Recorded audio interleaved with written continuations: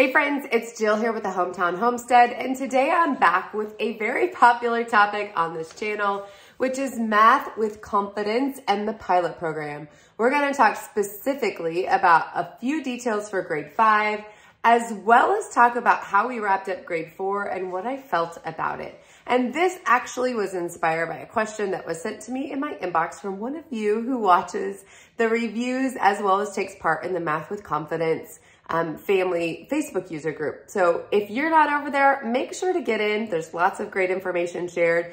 And just so you know, you must, must, must fill out all the questions uh, for the Facebook group or you won't be approved. So make sure you're doing that. Get on over there to get some more information.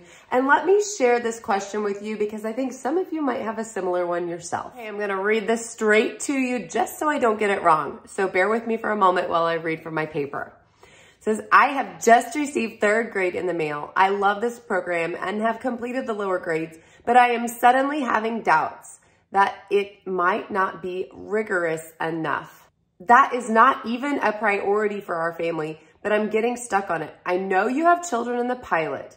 Can I let this go? Do you have concerns about this at all? Any information will be helpful. Thank you.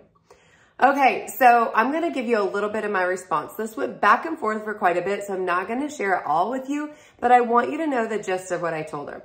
I said, hey there, finishing up the grade four pilot, my kiddo is able to make mental conversions on fractions, solve real life word problems as they arise, and is doing great in long division. Going into grade five, I'm not really sure what more I could ask for.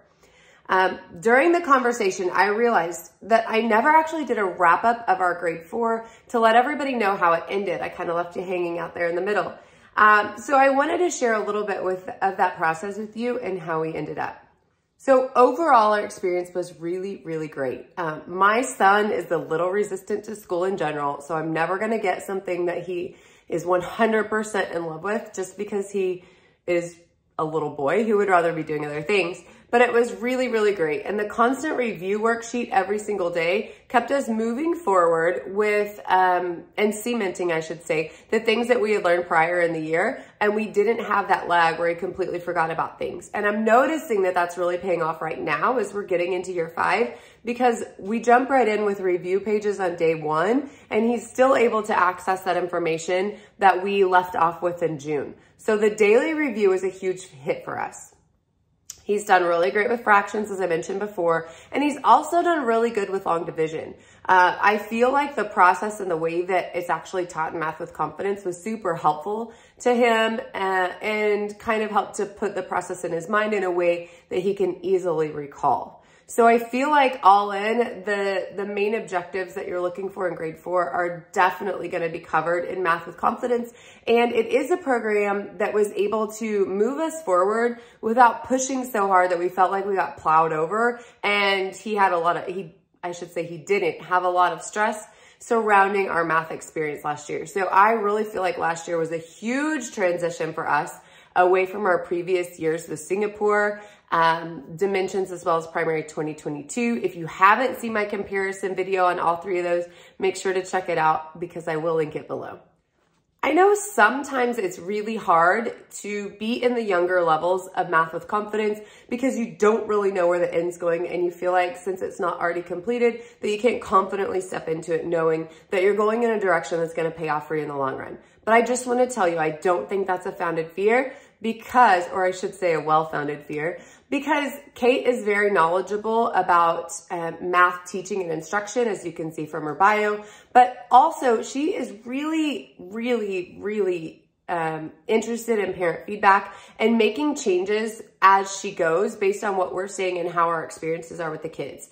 So this is something that has really been thought out well, uh, and the process is going really smoothly as far as what we're seeing. So all of that said, I want you to know we did go ahead and decide to sign up for grade five and we have actually just started week one. So I have a few details to give you on the changes that you can look forward to, um, as well as kind of how it's going for us and a peek into our favorite activity.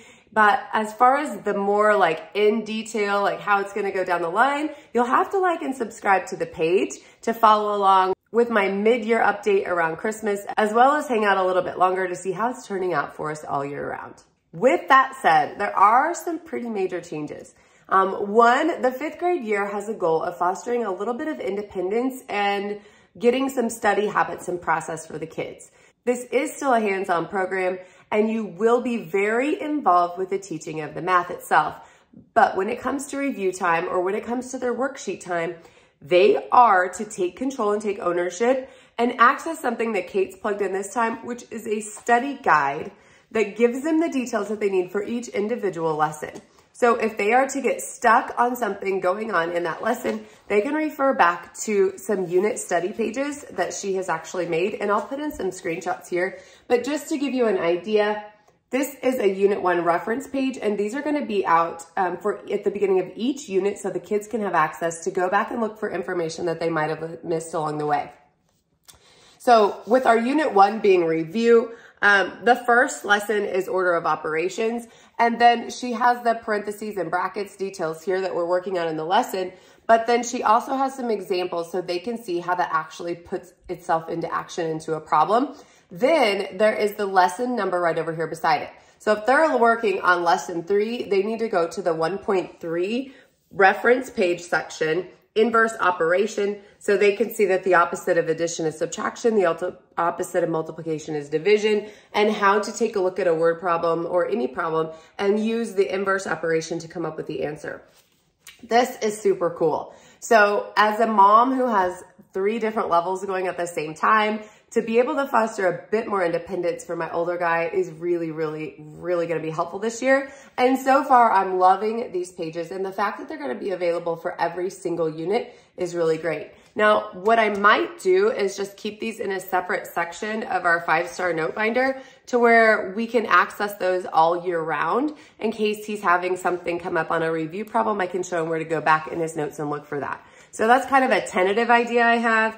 But um, the review and reference pages are something that have been added this year that I think are gonna be really, really helpful to us as teachers and to our students as well. Now, just like in years past, there is still one page that the teacher will work through with the student, and then there are two additional pages that the student will do themselves. So the one page will have two heads on it, uh, alerting the student as well as the teacher that it's an activity to be completed together. And then the next page and, and following page will also just have the one. When my son sees two heads, that means my pencil's going on the paper every single time. He is absolutely not gonna write more than he has to. So for the lesson activity pages, that's typically somewhere where I will scribe all of the writing. He will give me the answers and we'll work through it together. And then the following pages, he will actually be taking those over and working on them himself. I will say that so far week one, there are less games in level five. Now, does that mean that there won't be games? Absolutely not. I thought that was really fun because he's actually doing a, kind of his own cost benefit analysis on a vacation, which I think is something always good to give context to for young ones. All of that to say, if you're wondering about the future of Math with Confidence, it is awesome. It is looking fantastic. The activities are still there. We do have games in five. So they'll still have the actions and activities that you loved about all the previous years with a few added bonuses to foster that independence and study skills that they're gonna need moving forward as they head on down the line with other subjects in the future years to come. If you'd like to follow along with those grade five pilot details as we come through the year, definitely make sure to subscribe, like, and share this video with other people who are interested in Math with Confidence and might be curious what the future looks like and if it's a program they can trust long term. I will definitely be taking you along for the ride as we cruise through grade five. So please hang out and make sure to leave any questions below. Thank you all for stopping by the Hometown Homestead and I hope to see you back real soon.